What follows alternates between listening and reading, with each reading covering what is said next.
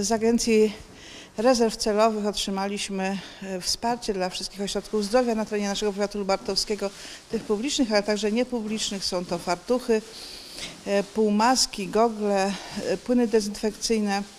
Przekazujemy mu te, te wszystkie rzeczy w celu ochrony przed COVID-em. Mam nadzieję, że kolejna fala będzie łagodna, ale zapowiadane jest, że będą kolejne i kolejne fale, więc wszyscy lekarze, ale także mieszkańcy, pacjenci będą bezpieczni, bo ten sprzęt po prostu będzie, bo e, wszystkie ochrony, e, środki ochrony będą dostępne dla pracowników, ale także i dla pacjentów. W związku z tym e, bardzo dziękuję za to, że jest troska rządu polskiego i ministra zdrowia o każdego mieszkańca naszej ojczyzny. Dziękujemy za te przekazane środki, bo jest to wartość około 200 tysięcy złotych dla naszego powiatu. Bardzo dziękuję za wszelkie wsparcie.